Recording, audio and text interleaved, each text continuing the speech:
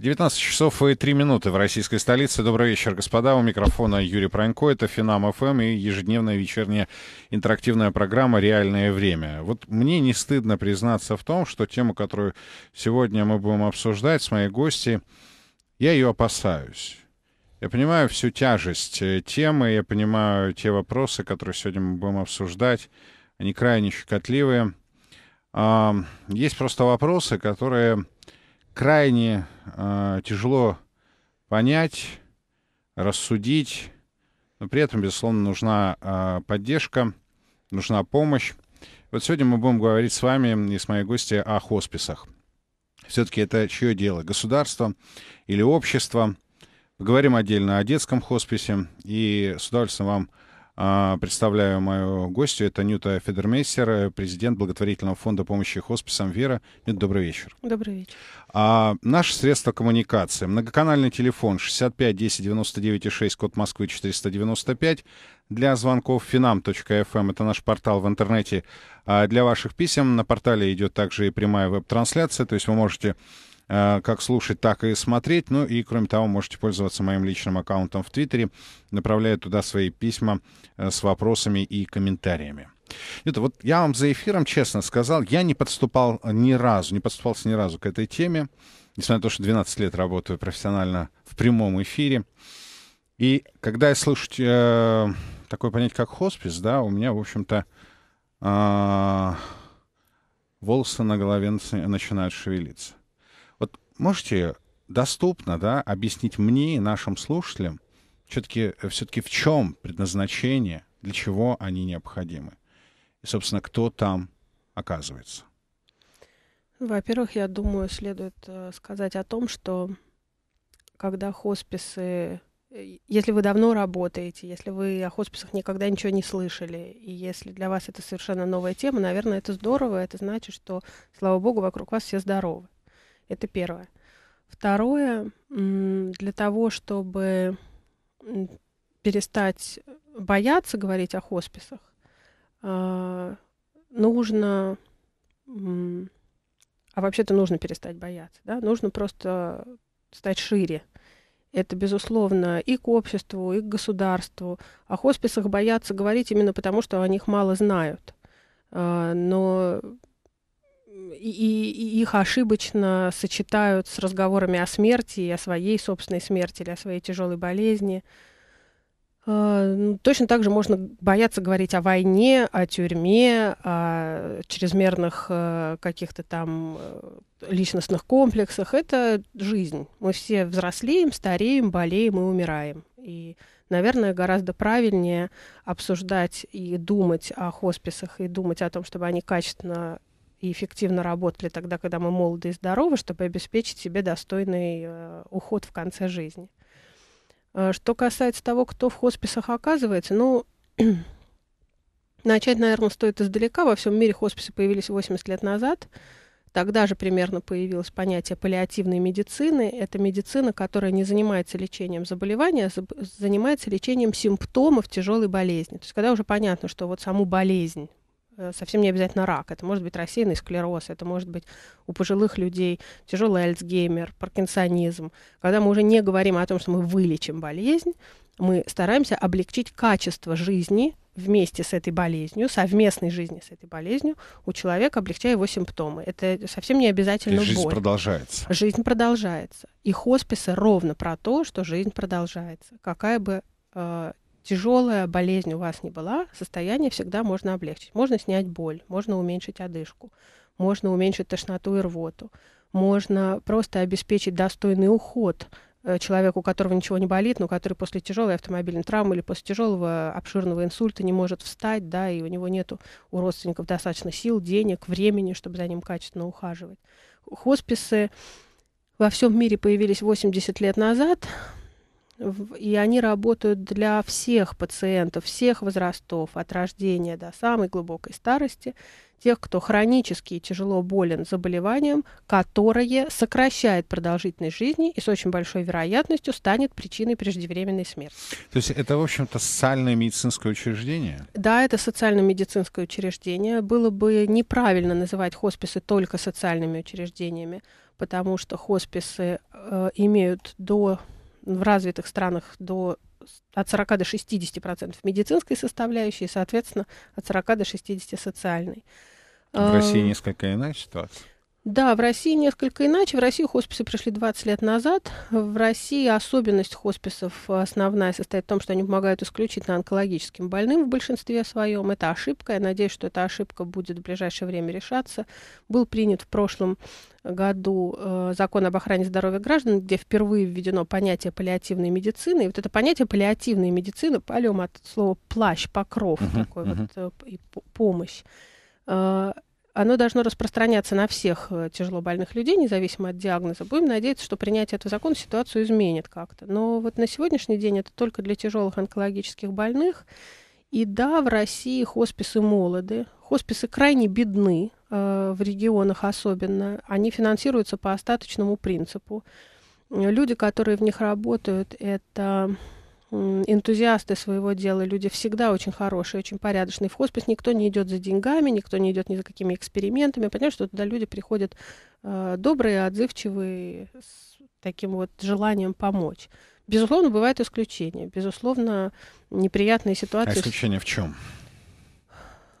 Исключения в людях бывают. Человеческий фактор. Не, не все таковы, но если брать картину в целом, то это все равно так. Э, в хоспис никто работать для того, чтобы получить какую-то невероятную выгоду. Ну, казалось бы, в хоспис попадают пациенты э, старые, тяжело больные, э, многие из них одинокие, очень много мифов про то, что вот положат тебя в хоспис, квартиру отнимут. Я не знаю таких случаев, чтобы отняли квартиру, отобрали, обобрали, обманули. Хотя хосписы, где есть тарифы, расценки на госпитализацию, на продление пребывания, к сожалению, существуют в Москве. Э, за городом и в регионах, и чем дальше, тем этого вообще меньше, просто потому что там у людей нет этих денег. Но... То есть это может быть коммерческое учреждение? Вы знаете, вот я все больше прихожу к мысли о том, что хоспис может быть коммерческим учреждением, и, наверное, должны быть коммерческие хосписы, но только тогда, когда некоммерческих будет достаточно для удовлетворения потребностей населения. Как только мы сделаем... Вот эм, вообще цифра настолько э, ужасающая людей, которые нуждаются в хосписной помощи. Можете ее назвать? Я вам так скажу, в Москве, только в Москве, диагноз рак четвертой стадии ежегодно ставит более чем 27 тысячам человек. Э, при, схожие цифры – это люди после инсультов, после э, с какими-то тяжелыми прогрессирующими заболеваниями, старики с деменцией, которых мы с вами не видим, да, они сидят по домам, по там, к сожалению, старики с деменцией, с Альцгеймером, с паркинсонизмом тяжелым, они попадают в психиатрические больницы, в отделения для э, стариков с деменцией, где жуткие условия пребывания, несмотря на то, что тоже чу- чудные работают люди, преданные своему делу. У нас все советское время была победоносная медицина. Мы должны были всегда вылечить, мы должны были всегда показать хороший результат, хорошую статистику. Это сломать очень трудно. У нас Это э, же в Советском Союзе да, люди не умирали. Ну что значит лживое, не лживое? Ну вот такая данность. Э, в Советском Союзе люди не умирали, все были счастливы, все, умер... все улыбались, инвалидов не было. И счастье вот, всенародное. Да, счастье было всенародное. Сейчас мы как-то понимаем, что э, это некоторая иллюзия. Начинаем какие-то там наметочки, какие-то малюсенькие шажки, какие-то смешные, нелепые пандусы начали строить для инвалидов на которых скорее шею сломаешь, чем куда-то доедешь. Да? Но Это правда. Хоть что-то стало, в общем-то, появляться. Стали появляться хосписы, появилась паллиативная медицина в законе, стало появляться, э, увеличиваться количество отделений сестринской помощи. Я тут прочитала э, ВОЗовский доклад о перспективах развития паллиативной медицины. ВОЗ — это Всемирная организация да. здравоохранения, кто не знает. Э, перспективы развития паллиативной медицины в мире — в мире э, ситуация демографическая такова, что количество старых и пожилых людей растет. Количество молодого трудоспособного населения, которое платит налоги, берет на себя заботу об этих стариках, сокращается. Россия не исключение. Да, Россия далеко не исключение, рождаемость у нас низкая. Более того, развитие медицины, которое происходит везде, в том числе и в России, способствует продолжению срока жизни, а, соответственно, способствует длительности, длительности хронического заболевания. И паллиативный, объем паллиативной помощи в мире до 2020 года должен вырасти на 40%. Это невероятная цифра. Э, и паллиативная помощь это далеко не только старики. Начиная от самого рождения мы научились выхаживать младенцев, родившихся очень сильно преждевременно, да, они у нас выживают, но многие из них, к глубокому сожалению, остаются тяжелейшими инвалидами и живут всего несколько лет. И это дети, с которыми мамам дома очень сложно. Им нужна помощь хосписа. Это ни в коем случае не отказ от таких детей. Хоспис – это организация, нацеленная на работу с семьей пациента. Качественно работающий хоспис – это хоспис, который задействует семью в помощи больному человеку, который понимает, что если болен близкий родственник, то больна вся семья, и работать нужно со всеми сразу. Это не отторжение от родных и близких. Нет, вот это самый главный и трудный миф, с которым нужно бороться, и пускай это услышат радиослушатели. Никогда не клеймите людей, передающих на заботу в хоспис своих мам, пап, бабушек, дедушек, потому что они нуждаются в помощи, они не отказываются. Продолжим после выпуска новостей. 19 часов 17 минут, реальное время Финам ФМ. Здесь у нас в гостях в студии прямого эфира а, Ньюта Федермессер, президент благотворительного фонда помощи хосписам Вера. Говорим о крайне важном а, социально-медицинском направлении. Сейчас в последнее время очень много идет разговоров о необходимости детского хосписа здесь, в российской столице. Вы в том числе написали пост на эту тему. Это действительно кричащая проблема? Да, кричащая проблема. В чем суть? Нет? Э, суть в том, что эм, Россия по-прежнему страна с очень сильным центром, и в Москву стекаются на лечение э, и взрослые, и дети, практически со всего бывшего Союза. В России, в Москве есть федеральные клиники – Э, очень высококачественный. Сейчас у нас лечение онкологии, в общем, вполне мы конкурентоспособны с Западом с точки зрения протоколов лечения, да, чем и как лечат. Мы совершенно отвратительны с точки зрения медицинской этики, там, обращения с пациентом его родственники, хамство и так далее. Но чем и как лечим, конкурентоспособны. Лечим, лечим, лечим, но, увы, иногда приходится признать, что медицина может не все, и как со взрослыми, так и с детьми случаются ситуации, когда врачи говорят, простите, ну, кроме слов сочувствия, мы больше ничего Вы не можем. неоперабельны. Да, э, мы уже вот соперировали, химию провели, облучение провели. К сожалению, только под наблюдение районного онколога домой. Понятно, что с детьми это сказать сложнее.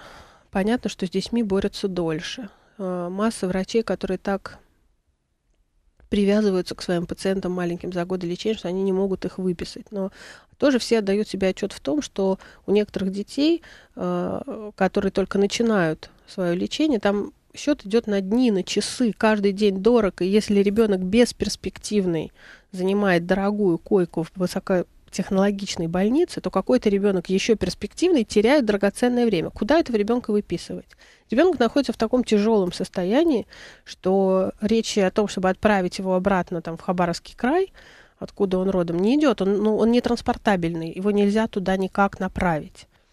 А, в Москве до недавнего времени было отделение паллиативной помощи э, в НПЦ Солнцево. Оно раньше принимало всех детей московских и федеральных. Потом с 2012 года оно стало платным для немосквичей. Можете себе представить, что такое, мало того, там обойти благотворительные фонды, продать все, что у тебя было, уйти с работы, потерять друзей, время, силы, когда ты своего ребенка лечишь. А теперь еще тебе нужно за то, чтобы он умер в, до в достойных условиях, тоже заплатить. В общем, это отделение стало платным. С недавних пор оно свое существование прекратило. И на сегодняшний день единственным учреждением, которое может оказывать и оказывает помощь умирающим тяжело больным детям, это первый московский хоспис, который находится в центре Москвы, он московского подчинения. Он бюджетный, государственный, с очень достойным финансированием и да, с благотворительной составляющей.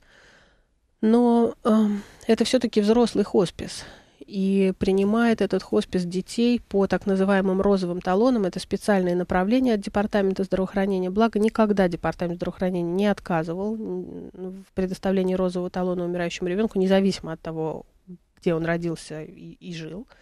Но это взрослый москвич хоспис. Или москвич. москвич или не москвич. Угу. Нет. Талоне во взрослый хоспис не отказывали. Но дело в том, что это взрослый хоспис, который должен обслуживать Москву, э, пожилых людей с раком э, в центральном округе, которых очень много, и которые ничуть не менее ценны, чем умирающие дети.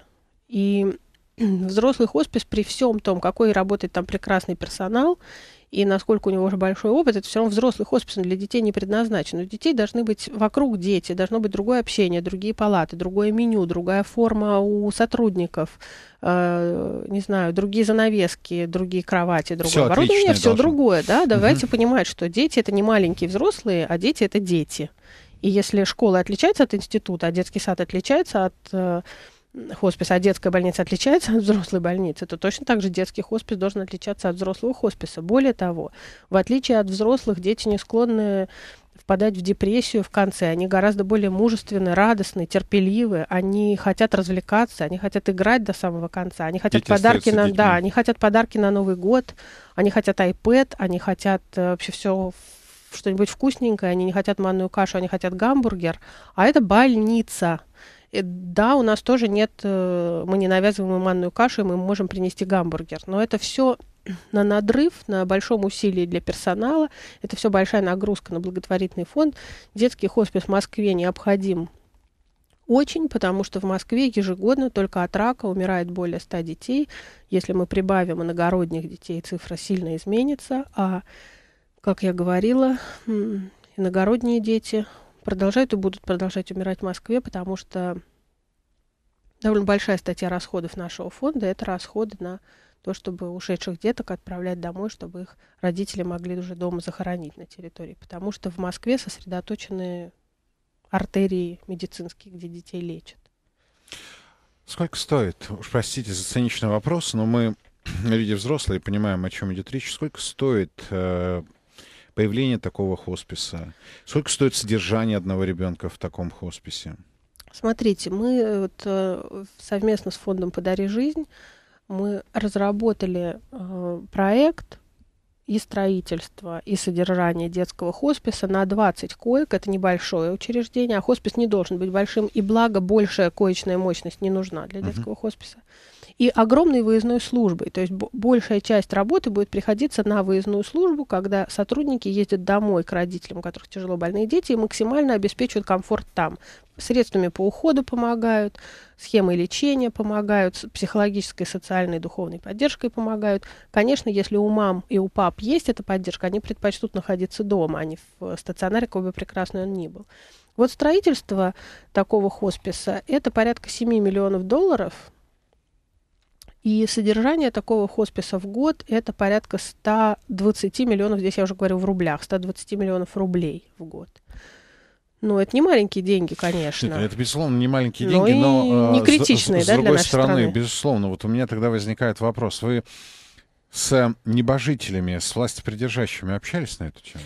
Вот э, мы очень много с кем общались, особенно уже после этого поста в Фейсбуке. Но, на мой взгляд, э, надо смотреть правде в глаза. Власть у нас э, достаточно авторитарной стране. На мой взгляд, решение зависит от э, непосредственно вот самого топового начальства. Это президент, премьер-министр и мэр Москвы. Угу. Нет, с ними я на эту тему не общалась, не было возможности. Все остальные, с кем я общалась, э, понимают необходимость, все сочувствуют, все готовы содействовать Но и помогать. Но от этих людей не зависит принятие решения, да? Ну, вы понимаете, я не знаю, я не вхожа в высшие сферы. высшие сферы. Я не знаю, от кого вот, на самом деле окончательно зависит принятие решений, но писем написано много, встреч много, Э, безусловно, когда речь идет о ну, выделении... А что говорится? Зем... Ну, ну, вот я, я, Пишите представ... письма. А, вот это туда напи... а сюда написали, а вот это очень длинное письмо, давайте перепишем. Ну, надо, чтобы на страницу. Чиновники не любят читать больше, чем страницу. Ну, а вот туда нет, никогда ни разу меня не отфутболивали. Э, все письма принимаются, пока еще не было ответов. пока еще не было ответов, мы ждем, потому что сроки эм, месяц, вот ты напишешь письмо, и официально наши чиновники имеют месяц права на него не отвечать. А вообще э, до э, этого поста, до того, как вы к ним стали ходить, они в курсе были? А проблемы? до этого поста... Что вот 100 э, детей у нас э, абсолютно. уходит из жизни Конечно, в курсе, год. это официальная статистика, там не 100, там больше значительно с не москвичами. Угу конечно, в курсе. И три где-то года назад мы начали очень активную кампанию по появлению детского хосписа в Москве. Тогда еще был Лужков, и мы вот добились появления в НПЦ «Солнце» вот этого вот отделения паллиативной помощи на 10 коек. Э, вместе с фондом «Подари жизнь». Мы боялись тогда, и как оказалось, мы боялись не зря, что если нам дадут эти 10 коек в НПЦ Солнцево, то хосписа самостоятельно существующего учреждения мы уже не получим. Так и произошло. Но, тем не менее, это отделение работало на 10 коек, и оно закрылось, собственно, 1 октября. И вот ахтунг-ахтунг случился в промежуток между 1 октября и вот этим моим постом, когда то отделение уже не принимало детей никаких, а первый московский хоспис не может разорваться. И детей значительно больше, чем первый московский хоспис может принять, а фонд благотворительный «Подари жизнь» или благотворительный фонд помощи хоспису может эм, обслужить на дому, потому что мы все-таки не медики, да, мы фандрайзеры, благотворители, uh-huh. социальные работники, uh-huh. как хотите назовите, мы не стационар. И вот э, к нынешним властям мы обратились, собственно, через там, двое суток, наверное, после того, как опубликовала я этот пост в Фейсбуке. Да и то я, в общем, не рассчитывала, что будет такой отклик э, Слава богу, что он был, и дай бог, Но чтобы власти нас прилежащие уже как-то отреагировали? Там, нет, пока знаю, вот мы написали. Пригласили вас на встречу, нет, да? Нет. Э, То есть они у нас тугодумные такие. У меня назначено... Вообще у меня разные встречи уже произошли. Сегодня была удивительная встреча с очень симпатичными людьми в от Департамента культуры есть департамент по защите памятников архитектуры, могу ошибиться в названии, но это не... наследство. Не, не буду врать, не Хорошо. помню точное ну, название. Ну, кто-то из чиновников. Да, да? которые сказали, да, мы не медицина, но вот у нас есть э, усадьбы, там, подмосковные, мы готовы передать вам для этого детского хосписа усадьбы, и очень со мной разговаривали милые, явно люди готовы помочь, уж никак они не могут быть заинтересованы ни в чем, кроме, собственно, помощи. Э, на э, радио «Эх Москвы» выступал э, Ресин, рассказывал про свою программу, там 200 храмов в Москве построй. Кто-то из слушателей ему позвонил и сказал, давайте построим детский хоспис. И Ресин, который, как известно, был при Лужкове начальником нашей градостроительной всей политики, правой да, рукой, да. правой рукой, он нас э, сказал, что он с удовольствием встретится, и оперативнейшим образом связались его помощники. И на послезавтра, если я не ошибаюсь, назначена встреча вот с Ресиным. Эм, я очень надеюсь на хорошие результаты, и он действительно, когда был вот в той должности он всегда способствовал и помогал развитию первого московского хосписа взрослых на спорте. Ну, на самом деле, я почему вот э, так дотошно расспрашиваю, да, э, мне представляется, что для них э, вот эти суммы, которые они обозначили, 7 миллионов долларов, 120 миллионов рублей годовое, да, содержание, насколько я понимаю. Да, это, это порядка 5 миллионов долларов. Это не деньги. Ну, вот да, мы же знаем с вами, деньги. сколько у нас заплатили за футболистов там. Э, футболистов, сколько они распилили на оборонсервисе Это и так я далее. Не знаю, а про я, я знаю, знаю, как профессиональный журналист, да, и, и, и так далее. Они больше тратят э, вот этой суммы, да, вместе взятой. Ну, может, не в сутки, но в неделю-то точно.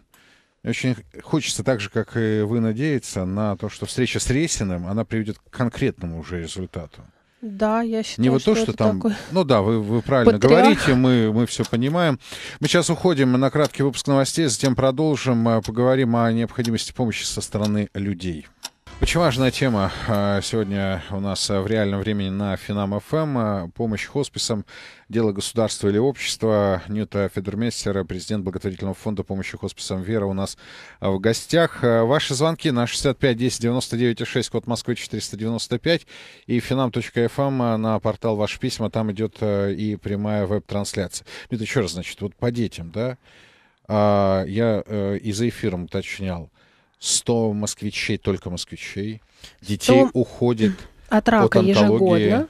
Но хосписы нужны, как я уже говорила, как взрослым, так и детям, не только онкобольным.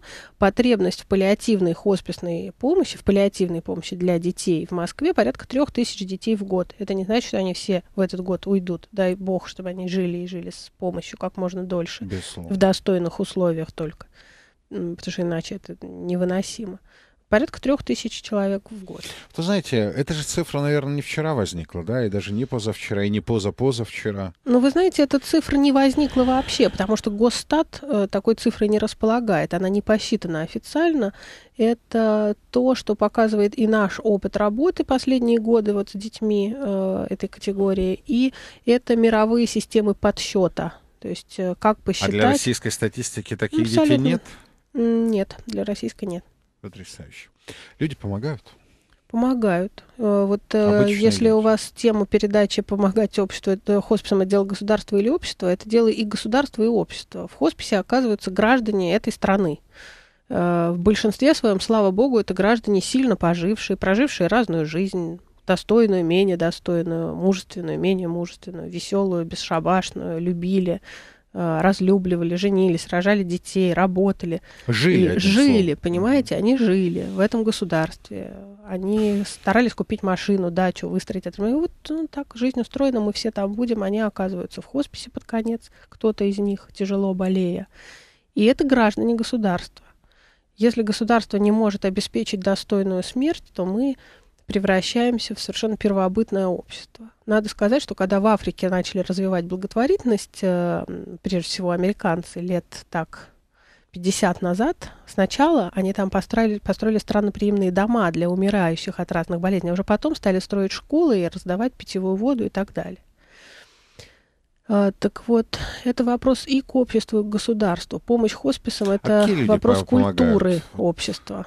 Это богатые люди. Разные люди помогают. Разные. Помогают богатые люди, помогают угу. люди очень бедные, помогают. Вот э, мы тут проводили такую кампанию в Фейсбуке, написали, что в хосписы, которым мы помогаем, а на сегодняшний день наш фонд помогает 19 хосписам по всей России, нужно приносить чай, кофе и сахар не столько для пациентов, сколько для сотрудников, которые работают, делают эту тяжелую работу и которые угу. хотят на 5 минут сделать паузу, попить чай и кофе. Зарплаты у них маленькие. И вы знаете, в хосписе у нас в фонде набралось такое количество чая и кофе, что мы могли просто фурами уже это отправлять. И вот ты смотришь по пакетам, кто-то приносит ящик, кто-то пять ящиков, а кто-то в скромном пакете, который, как в советские годы, несколько раз постиран, этот пакет, и завязан на узелок, и там лежит такой набор туриста. Баночка кофе, пакетики с чаем, пачечка сахара и упаковочка сливок. Но это же, очевидно, какой-то пенсионер привез, принес там, потому что он услышал, прочитал, разные помогают. А, а помощь нужна вот именно такая, материальная или, или иная тоже? Помощь нужна разная. Помощь нужна... Э, самое главное, те люди, которые в своей жизни столкнулись с помощью хосписа и остались с пониманием того, что это нужно, вот, на мой взгляд, самая главная помощь – это распространение идей хосписной помощи и хосписной философии, чтобы разрушить те мифы, которые у нас существуют. О том, что хоспис – это дома смерти, о том, что если вы кого-то в хоспис сдали, то это значит, да вы все. отказались от родственника. Вот это категорически не так. Крайне сложно при той социальной поддержке, которую мы получаем от государства, не воспользоваться помощью хосписа, если хоспис существует. Надо пользоваться, надо от этого государства получать то, что можно получить. Это самая важная помощь, такая вот информационная. Безусловно, не все хосписы соответствуют хосписной философии, где-то берут деньги, где-то некачественно помогают, и об этом тоже надо говорить, очень надо. Потому что, прежде всего, руководство этих хосписов должно получить по тыкве и э, понимать, что это станет э, достоянием гласности, то, что там происходит. А в чем вот проблема возникает, когда мы говорим о некачественных услугах? Почему она возникает? Не поняла вопрос. В чем? Вот в чем суть? Ну, некачественных услуг. То есть пренебрежительное отношение? Пренебрежительное отношение, лень.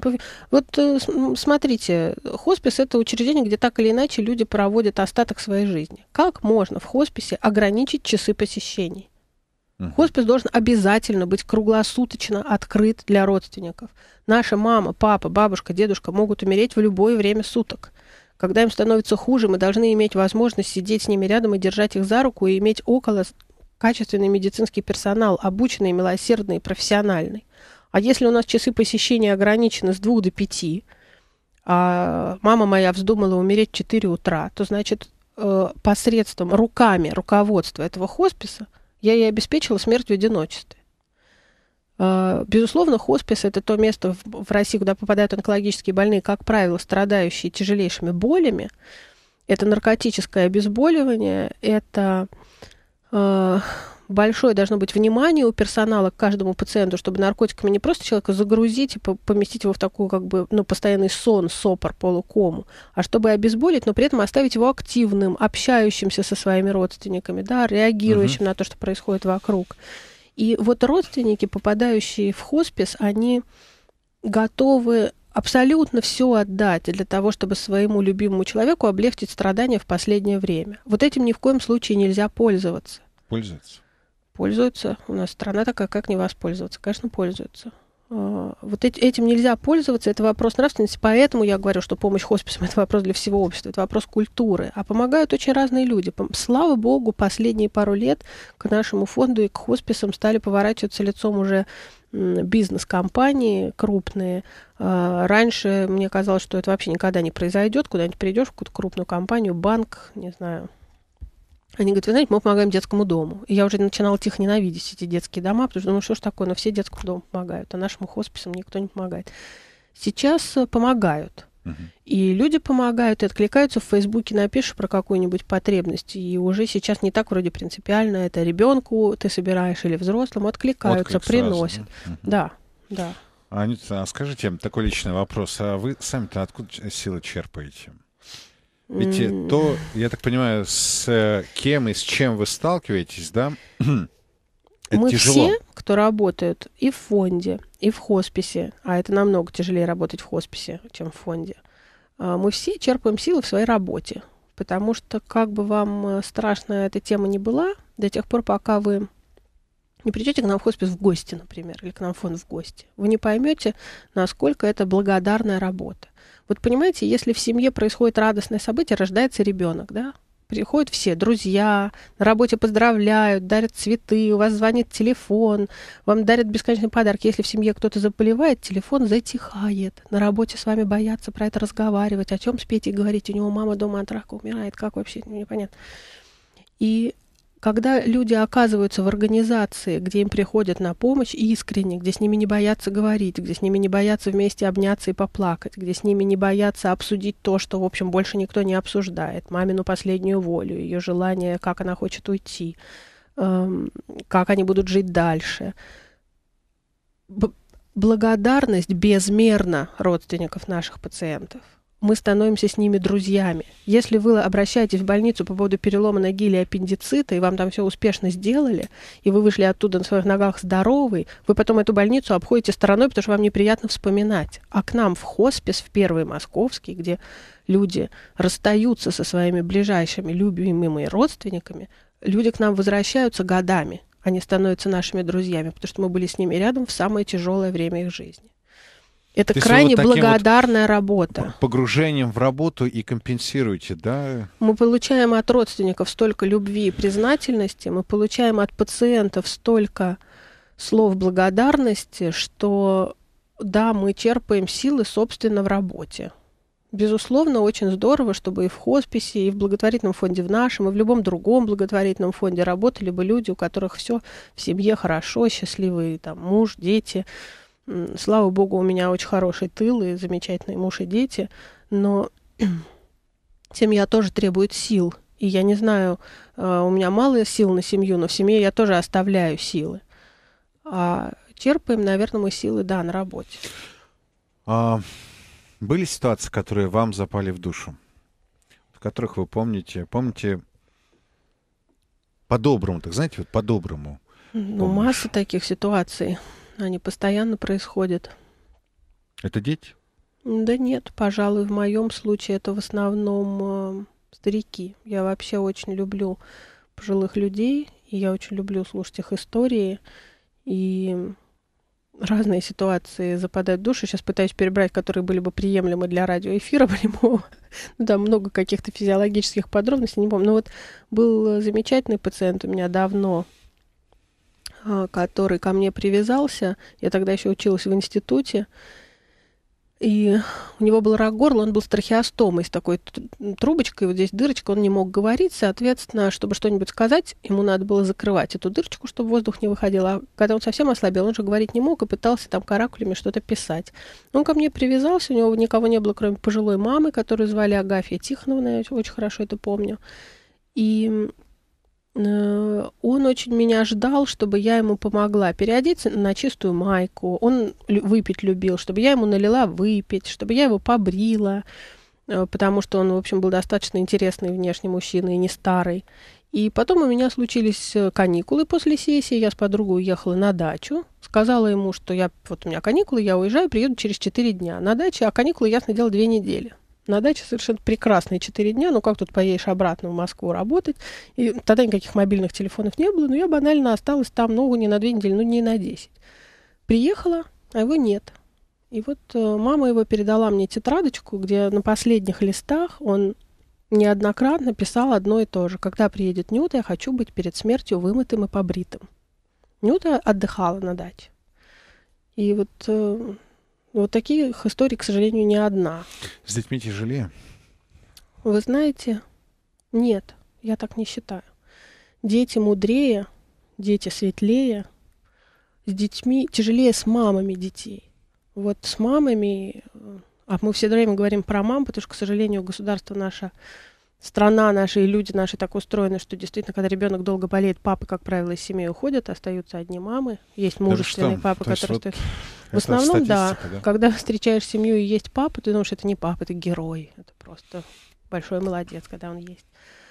Um, ну, есть такие папы. Есть папа замечательного мальчика Дима Нуриманова, который борец и мой герой. А, но с детьми нет. Тяжелее с мамами, а дети, понимаете, они настолько... Они не... осознают вообще? Осознают. осознают. Они все осознают. То есть они все понимают. Все да? они понимают, и вообще довольно трудно. И, и, и вот это тема для отдельной передачи, но думать про то, что взрослый человек, болеющий раком, не знает, что он болеет раком, это смешно. Это обманываются родственники, обманывают себя и обманывают своего близкого. Если он прошел химиотерапию, лучевую терапию, был в, Гон... в Герцена, в онкоцентре, на Каширке, облысел три раза, э, похудел на 20 килограмм, сидел в очереди что-то обсуждал и лежал в стационарах, а потом он попадает в хоспис, и к нам приходит родственник и говорит, вы знаете, вы только не, не произносите при нем слово рак и слово хоспис. Ну, хотите обманываться, обманываетесь, но вообще-то лучше честно и открыто оставшееся время жить. Дети все понимают, а, но дети не унывают. Кажется, самое главное, ведь вы действительно, вы продолжаете жизнь человека. Вот в этой сложной, да, ситуации, в общем-то, приговора, жизнь продолжается. Мне кажется, Абсолютно. это самое главное. Хоспис — это место, где сконцентрирована жизнь, как нигде. Мы продолжим общение с Нитой Федермейстер сразу после краткого выпуска новостей. Звоните, пишите. 19.47, реальное время, Финам ФМ. Меня зовут Юрий Пронько, и напротив меня Ньюта Федермессер, президент благотворительного фонда помощи хосписам «Вера». Говорим о крайне важной теме. Ваши звонки на 65 10 99 6, код Москвы 495, finam.fm, наш портал в интернете для ваших писем. Ньюта, но все-таки, а как жизнь-то вот продолжается? Я хочу понять. Как в хосписе продолжается жизнь? Значительно более интенсивно, чем вне хосписа потому что она сконцентрирована, потому что ее меньше и хочется успеть больше. У нас в хосписе раз в неделю проходят концерты. Вот когда вы были последний раз на концерте? Я? Да. Я не вспомню. Ну вот а в хосписе раз в неделю для всех пациентов концерты. У меня, видите, у меня эфиры, когда идут все концерты. Вот понимаете, вы очень много пропускаете, приходите к нам, концерты бывают разные, чудесные. В хосписе играл Ростропович, в хосписе играла Наталья Гутман, Теодор Курендис, Юрий Башмет, в хосписе танцевал ансамбль «Березка». Совсем недавно в хосписе почти два, два раза подряд выступали замечательные две девушки с танцами живота, и еще выступали потрясающие цыганки, настоящие. Э, к нам приходил фокусник, который заворожил наших пациентов. И, понимаете, когда это происходит, э, люди совершенно забывают о своей болезни. И вот приходят вечером родственники. Родственники приходят с кислым видом, они сами устали после работы, они приходят к своей маме, папе с э, готовностью говорить о болезни, о боли. А тем говорят, нет, это потом, ты знаешь, у нас сегодня были такие девочки, были такие танцы живота, Родственники у нас в ауте. Родственники в ауте, да. У нас в хосписе есть живой уголок, там есть такой зверек, который называется Дегу, такой симпатичный грызун, очаровательный. Он катается по всему хоспису в таком прозрачном большом шаре, сфере в такой. Его с утра туда сажают, и он закатывается во все палаты, он подкатывается ко всем кроватям, он со всеми общается, он совершенно создает невероятную атмосферу. У нас есть добровольцы-собаки, которые при, по вызову приходят к пациентам, которых нужно как-то морально поддержать. Замечательная собака Белоснежка, которая укладывает ее на кровать к пациенту, и она так нежно-нежно морду подсовывает под ладошку. И человек чувствует это тепло да, от собаки. Мальчик у нас один лежал, он захотел, например, пони. Мы эту пони впихнули ему в палату. А была одна девочка, я помню, мне пришла смс такая что вот срочно помогите, срочно нужна обезьяна в трусах. Я думаю, что это вообще такое за СМС? Позвонила, оказалась девочка, сказала, что она очень хочет обезьянку, но не просто какую-то дикую из зоопарка, а дрессированную из цирка в трусах. Доставили? А, доставили, конечно. А, у нас есть пациенты, которые хотят эм, прокатиться на теплоходе по Москве-реке, которые хотят... Мы с вами все в суете, в суете, понимаете, мы забываем про жизненные какие-то радости и про то, что это круто прокатиться по Москве-реке на теплоходе. Есть кто-то, кто хочет сходить в цирк. Вот недавно был мальчик эм, семье его мы оплатили поездку в Израиль. Это была его мечта, и вот он захотел Святую Землю, ну и прекрасно, и еще оплатим, если он еще куда-то захочет поехать. Э, в хосписе, когда были выборы президента, мы как-то подумали, ну, что-то тяжелые пациенты, не будем проводить эти выборы. У нас в одной палате устроили бунт бабушки. Как это так? Это мы им урны не принесем, они не проголосуют за президента. Что это такое, да? Что это мы нарушаем тут Конституцию? Конституционное право, да. Да, голосовали, естественно хосписе, я не знаю, какая, вот можете мне поверить, можете не поверить, но у нас какая-то микроаура непонятная. В хосписе потрясающая есть садовница Люда, которая занимается садом-огородом, и которая а, в хосписе территория хорошая, пациенты из палат, из каждой палаты есть вы, выезд на улицу, в теплое время года очень много гуляют, и в хосписе, как нигде, в Москве рано стаивает снег и прорастают крокусы. В хосписе есть огород. Мы на этом огороде растим огурцы, помидоры, сельдерей, что-то там еще растит Люда. В общем, все она растит и разносит это по палатам тем пациентам, которые не очень хотят выезжать на улицу. И вот она приносит им какой-нибудь помидор и говорит, это вот у нас выросло в огороде.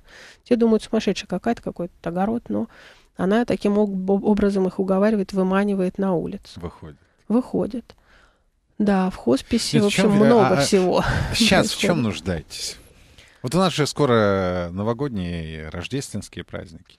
Подарки-то готовите? Конечно, да, обязательно. У нас есть пациенты на выездной службе, которые обязательно все, а их много, это порядка 250 человек, все получат подарки к Новому году. Если у радиослушателей есть желание, первый московский хоспис находится на метро «Спортивная» по адресу улица Даватора, дом 10. Туда ближе к Новому году, в, начиная со середины декабря, нужно приносить, например, мандарины потому что это непосредственный запах и вкус Нового года. Туда нужно приносить мягкие сладости, которые тяжело человеку, тяжело больному человеку легко жевать. Пастилу и зефир, например. Да, грильяж не надо. Можно приносить, вот когда э, майские праздники, мы всегда просим там красное вино и баночку икры для ветеранов войны, которые еще есть. А, мы от тех людей, которые не хотят дожидаться приближения Нового года с мандаринами, готовы прийти раньше. Нам вообще в хосписе нужно все. В хосписе нужно постельное белье, нужны памперсы, нужны салфетки, медперсоналу нужны э, перчатки. В хосписе можно приносить постельное белье уже бэушное. У кого нет денег покупать новое, оно все равно через день станет бэушным. Не забывайте, что наш фонд помогает хосписам в регионах, где нет ничего. И, Сильно э, ситуация отличается от московской. Да. Понятно, это был ответ. Да. Э, и хоспис это дом. В хоспис нужны цветочные горшки, цветы, э, коврики, э, телевизоры и DVD-плееры, которые вы меняете, потому что вам он стал старый, а нам он будет новый нужно все. Мандарины мы точно любим. У нас есть особо рьяные сотрудники, которые запрещают есть мандарины сотрудникам фонда и хосписа, потому что их, мол, принесли только пациентам. Поэтому, пожалуйста, приносите на сотрудников тоже. Они на тоже всех. хотят на всех приносить. Вот, так что То помогайте. Нужна любая помощь. Любая помощь. У нас есть сайт в интернете, там есть такой раздел «Текущие нужды». И вот э, когда я его просматриваю, я думаю, боже мой, я не знаю, чего нам не нужно, нам все нужно. Давайте пообщаемся со слушателем Финам ФМ 65 10 99 6, код Москвы 495, finam.fm. Наши средства коммуникации. Здесь э, президент э, благотворительного фонда помощи хосписам Вера Нюта Федермессер. Мы впервые встречаемся с Нютой. И я уже напросился к ним в гости. И обязательно там побываю, съезжу и вам расскажу. Добрый вечер. В эфире. Как вас зовут, Аля? А, добрый вечер. Меня зовут Илья. Хотел Илья. бы поблагодарить вашу сегодняшнюю гостью. Очень она делает большое доброе дело. К сожалению, в стране про такие вещи не принято говорить и считают, ну, я не знаю, не то, что плохим, плохим тоном, мне кажется, просто люди не знают, что говорить, поэтому считают нужно вообще ничего не говорить на эту тему. Давайте вопрос, говорить. Да. Я, я, я только за, давайте говорить. А, вопрос у меня к вам следующий. Скажите, пожалуйста, вот а, что ваши пациенты говорят а, наверное, какие-то добрые слова, так сказать, да, тем, тому персоналу, который с ним работает. Э, может быть, людям, которые не причастны к этому делу, но они просят передать что-то там своим близким, родным. И отличаются ли эти слова, которые говорят взрослые и, может быть, пожилые люди, от тех, которые говорят дети? Спасибо. Спасибо. Вы знаете, Илья, эм, у нас пациенты довольно много общаются с персоналом. Одна из э, задач, которая стоит персонал, перед персоналом, это общаться. И задача стоит не просто не говорить, а именно слушать то, что пациенты рассказывают. Если мы идем э, в палату к пожилым пациентам, то они рассказывают про жизнь, про свою, с большим интересом. Сегодня, например, я в коридоре столкнулась с э, замечательным дяденькой, который мне сказал, что ему 80 лет. Поверить в это мне было довольно трудно. Выглядит он значительно моложе. И он мне рассказал, что он э, 60 лет управлял хором, начал рассказывать про этот хор и про то, что это такое управлять хором и сказал, что вот у вас есть один доктор, Ариф, а Ариф это такой термин в управлении хором, который там что-то значит. То есть на самом деле вот это, ваш вопрос это, и ответ на этот вопрос это подтверждение того, что в хосписе продолжается жизнь. Мы говорим про все. Конечно, есть очень грустные разговоры. Конечно, многие люди говорят и о будущем, которое будет без них, и они боятся за своих детей, за своих внуков, за своих мужей, как они будут справляться. В хосписе, безусловно, много слез. А что, разве вне хосписа слез мало? А, дети говорят тоже о разном, и дети тоже умеют говорить о конце и о смерти. Я не забываю и никогда не забуду девочку, которая утешала свою маму, плачущую, Девочке было 9 лет, и она маме сказала, ну что ты так плачешь? Когда меня не станет, я просто вернусь к тебе в животик, и мы всегда будем вместе. Э, говорят обо всем, и да, говорят более открыто, потому что нету больше смысла ничего скрывать. А вот у меня возник сразу вопрос. То есть люди уходят же, уходят в мир иной. Ну да, но они же не только в хосписе туда уходят. Безусловно. А, а вот в, в этот момент люди, которые с ними общались, как им объясняете, вы с ними общаетесь, пытаетесь разрядить ситуацию? Ну, И... понимаете, когда человек уходит в хосписе, это же не неожиданная смерть, как бывает в других э, ситуациях. Да, это не, ты не попал под машину, тебе не кирпич упал на голову. Э, семья к этому, как правило, готова. Безусловно, одна из самых трудных задач, которая лежит на персонале хосписа, это работа с родственниками и подготовка родственников. И э, в некоторых случаях мы берем на себя даже большее обязательство примирить семью, если какие-то есть неприятности, привести к одинокому пациенту того родственника, который от него отдалился, а пациент хочет его видеть. Готовим, работаем. Это можно вот подготовить, да? Ну, длительное умирание от рака – это порой месяцы, месяцы, годы, месяцы тяжелой болезни, для кого-то борьбы, для кого-то, наоборот, не борьбы, а опущенных рук. Люди разные, кто-то борется, кто-то быстро сдается. И это, воз, это сама жизнь к этому готовит. Действительно, очень многие пациенты и родственники воспринимают уход как облегчение. Знаете, я недавно думала, есть такое слово замечательное в русском языке, которое мы каким-то образом обесценили и как-то мы его высмеяли. Такое слово «покойник». Вот а это все-таки слово происходит от слова «покой». И когда человек долго болеет, мучается, у него боли, у него многократная в день там до 30-40 раз рвот, у него одышка, ему тяжело, и да, он приехал в хоспис, мы сняли, постарались снять эти симптомы, постарались сделать так, чтобы ему не было так одиноко, чтобы ему не было так страшно, хотя все равно одиноко и страшно. И вот когда человек все-таки уходит, я все время поражаюсь, у наших больных такие одухотворенные, светлые, красивые лица. Потому что покой. И да, родственников при качественной работе можно к этому подготовить. Мне даже кажется, что не кажется, я уверена в этом, что когда ты теряешь близкого родственника от длительной болезни, конечно, это значительно, э, я не знаю, я боюсь это произносить в эфире слово гуманнее, да, потому что это тяжело, потому что хосписов мало. Но если вот, вот сходятся звезды правильным образом, если человек какое-то время поболел, если он сумел, попал в такие условия, что он получил качественную помощь, то для родственников это спокойнее. Спасибо огромное. Надеюсь, вам будут помогать и успехов. Спасибо, Спасибо. вам тоже.